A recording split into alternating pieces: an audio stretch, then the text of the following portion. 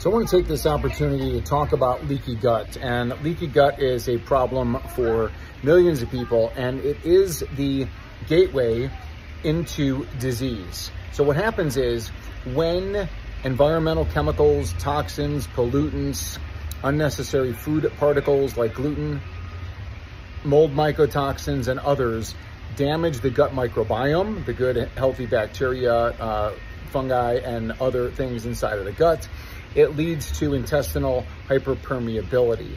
And when you have intestinal hyperpermeability, things get into the body that don't belong. Now that sets off an immune response reaction, inflammation, oxidative stress, and eventually cardiovascular or disease and brain disease or cancer, whatever it may be.